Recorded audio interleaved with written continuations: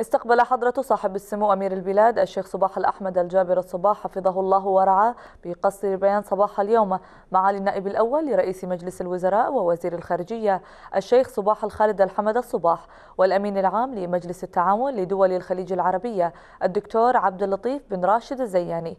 حيث اطلع سموه على أهم القضايا المطروحة على جدول أعمال الدورة السابعة والثلاثين للمجلس الأعلى لمجلس التعاون لدول الخليج العربية والمزمع عقدها في المملكة البحرين الشقيقة الشهر الجاري.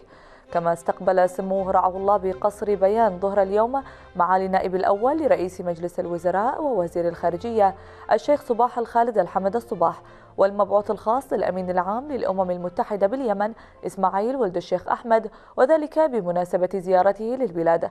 حضر المقابلتين نائب وزير شؤون الديوان الأميري الشيخ علي الجراح الصباح.